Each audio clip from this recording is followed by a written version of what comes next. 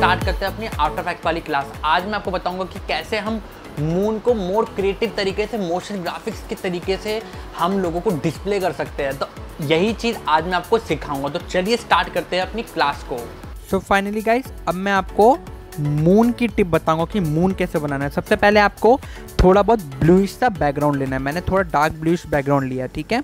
अब मैं small small circles बनाऊँगा और कुछ सर्कल्स की ओपेसिटी कम कर दूँगा। तो मैंने कुछ ऐसे पाँच छः सर्कल्स बना दिए उसकी ओपेसिटी कम करके भी मैंने यहाँ पे कर दिया। अब मैंने दोनों साइड में इसको डुप्लीकेट कर दिया ताकि ये दोनों साइड में अच्छे से दिख जाए। अब मैंने क्या करा है कि हल्की फुल्की मैंने इनमें थोड़ी बहुत मोशन दे दी है। आप भी मोशन दे सकते हैं पोजिशनिंग के थ्रू दे सकते हैं ओपेसिटी के थ्रू दे सकते हैं स्केलिंग के थ्रू दे सकते हैं, जैसे आपको देनी है। लेकिन मैंने पोजीशनिंग के थ्रू दिया कि थोड़ा बहुत मूवेबल चलता रहे। और पोजीशनिंग के थ्रू जब भी आप वो देंगे तो आपको ध्यान रखना है कि कितनी आपकी स्पीड होनी चाहिए। सो ये वाला पार्ट हो गया। अब हम बनाते हैं मून मून बनाने का सबसे आसान तरीका मैं आपको बताता हूँ कैसे बनेगा। आपने एक सर्कल लिया। डन आपने एक सर्कल लिया। सर्कल में आपने क्या करना है कि उस, उसके अंदर दो तीन सर्कल और लेने वो भी डिफरेंट डिफरेंट मतलब लिटल भी डिफरेंट थोड़ा ग्रेइश टच में आपको सर्कल लेना है और कॉर्नर में आपको तीन सर्कल्स को प्लेस कर देना है। जैसे मैंने यहाँ पे प्लेस किया हुआ है। अब आपको क्या करना है कि जो आपका बड़ा सर्कल है, उसमें आपको इनर शेडो डालनी है। इनर शेडो डालोगे तो मोर ओवर थोड़ा अच्छा लगेगा, थोड़ा थ्री लुक आता है। प्रस्पेक्टिव बदल जाता है। मैंने इनर शेडो डाल दिए तो उससे थोड़ा प्रस्पेक्टिव बदल गया है।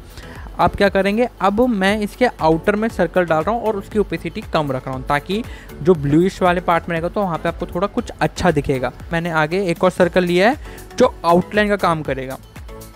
जैसे हम सोलर सिस्टम में देखते हैं कि अदर प्लैनेट्स घूमते तो वैसे ही मैंने कुछ आउटलाइनिंग करी है इसमें। अब ये पार्ट हो गया।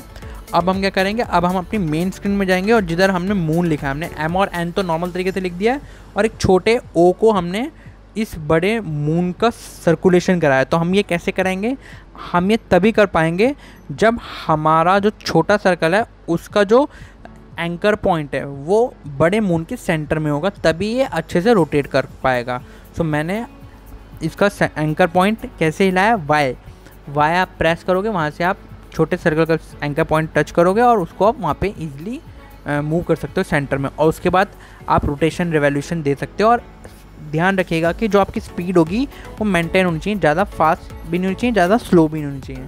सो so, यही कुछ टिप्स एंड ट्रिक्स है जिसके तरीके से आप मून मोशन ग्राफिक्स के तरीके से बना सकते हैं। सो so गाइस आपको ये मून वाली इफ़ेक्ट कैसे लगे? कमेंट बॉक्स में बताएँ और मिलेंगे हम नेक्स्ट वीडियो में कुछ क्रेजी टॉपिक के साथ ऐसे ही मज़ेदार ट्यूटोरियल के साथ। तो बाय टेक केयर बने रहे मेरे यूट्यूब चैनल में।